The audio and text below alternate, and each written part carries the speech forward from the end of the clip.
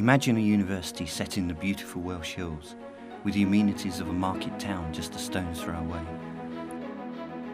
A university far removed from all the pressures of urban living, where within minutes you might be walking in the Cambrian Mountains or surfing along the Cardigan coast.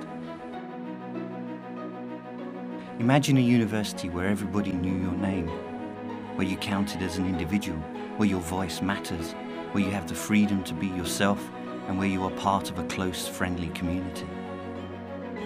Imagine a setting where a long academic tradition, stretching back 200 years, meets 21st century teaching technologies.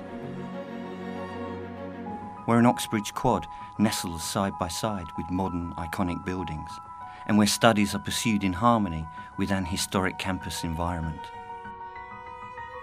Imagine a university that takes your needs seriously, where you receive the support and encouragement you need, and where staff genuinely care about you and your academic progress. Imagine a university where you'll be taught in small groups, where you're on first name terms with lecturers, where staff and students work collaboratively, sharing ideas and opinions, in a learning environment that is based on respect, cooperation and a common love of subject.